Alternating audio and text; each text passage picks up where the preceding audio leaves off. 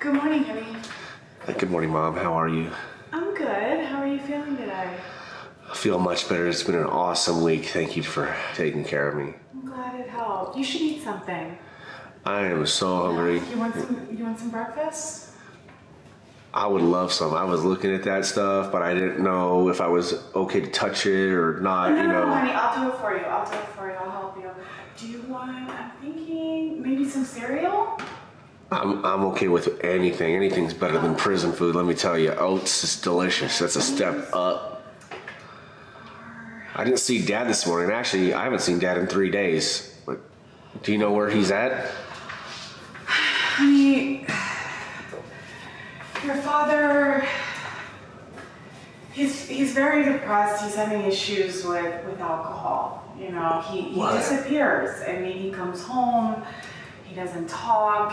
Um, he smells like alcohol. I think he has a drinking problem. How long? this? This looks good. Oh, anything. Thank you, Mom. These are fresh. I just got them. Thank you. So, how long is Dad having a drinking problem? I mean,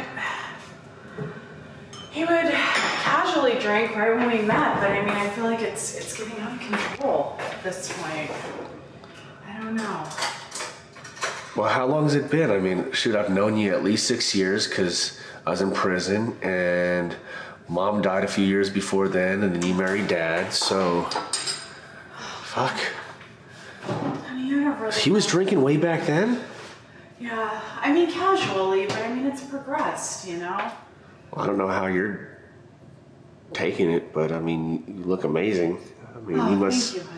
Hit the gym 10 times a day to look like that. And be married to my dad, you know he's a buffet kind of guy. You can't stay skinny with the buffet kind of guy. Yeah, I mean, I definitely, I have a lot more spare time on my hands. Your father's been good to me. I mean, I look after him, and he's he's been very good to me. So. Good. Yeah, well, you know, the other day was, I want to say thank you for I mean, that's Jerking me off. We can't talk about that. When I came home from prison. I really needed. I mean, as your stepmom, I, I need to help you, but